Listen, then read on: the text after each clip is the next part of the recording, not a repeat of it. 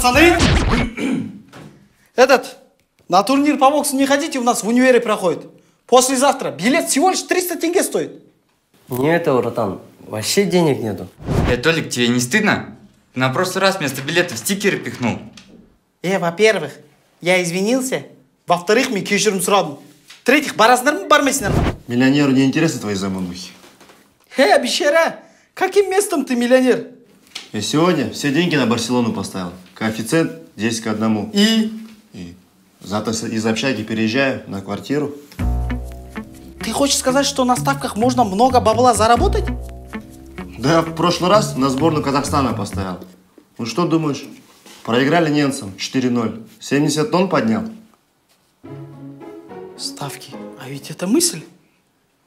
На ставках я же могу заработать много бабосов. Как говорила моя бабушка.